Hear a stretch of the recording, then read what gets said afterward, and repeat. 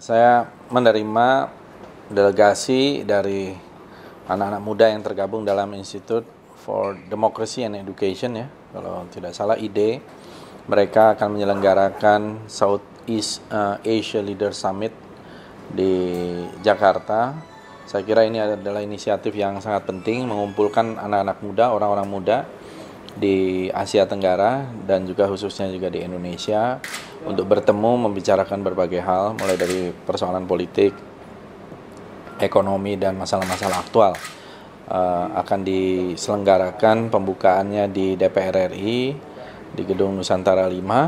uh, kemudian juga nanti penutupannya pada tanggal 13 saya kira acara ini uh, sangat perlu didukung karena anak-anak muda generasi muda para pemuda adalah penerus pimpinan bangsa kita gitu.